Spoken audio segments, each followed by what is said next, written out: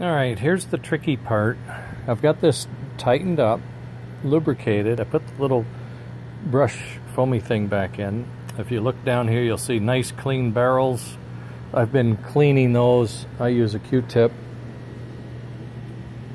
I use Q-tips and toothpicks for a lot of cleaning uh, because one, they're soft, and two, they don't uh, scratch the surfaces. So you'll see toothpicks laying around any rate, uh, these are the brushes. These are brand new and um, full length and no deposits on the ends or anything. So what you do is you just slide those down the barrel and as you can see, I don't know if you saw that one, I'll try to show you this one better. When I let go, it just slides right down. Boom, that's great.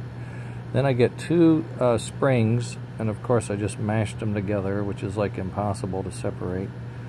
Um, hold on a second. There we go.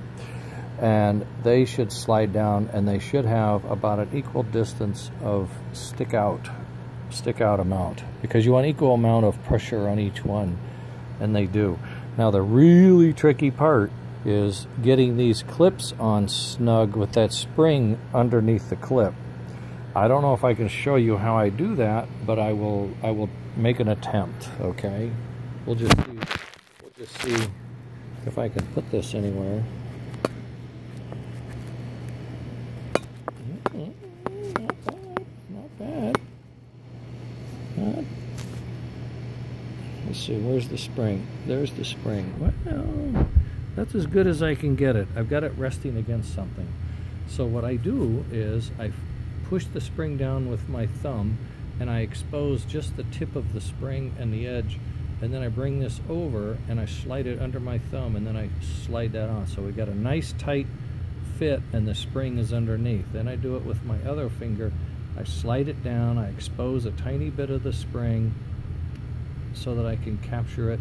And then I slide my little cap down. Ooh make sure you don't miss. If you pull the cap off and the spring isn't really caught in there uh, then parts go flying across the room. Okay you know, I've only done this a gazillion times, right? Camera's rolling. Okay, there we go. All right, the springs are on. At this moment, this motor is operational. Now, if I move this one, it's snug. If I move this one, it's a little loose. So what I'm gonna do is come along with my needle nose and just give that a little, a little pinch, just to tighten that up a little bit, which it did. Okay, fine. Try this side, try this side. Just a just a, a, a love tap, not you know a bear hug here. Eh, it's better. It could be a little tighter. All right. Uh, what I may would do later is take it apart and tighten it up more, but I don't want to fuss now. So what I need now is a patch panel tender that I could plug into this and distribute the power across. Um, I might try to do that with my clips.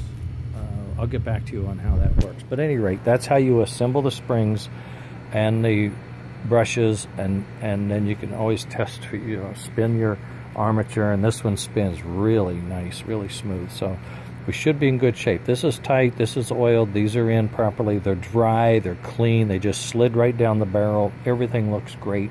I'm going to try to find a way to put some power on this baby. See what we got.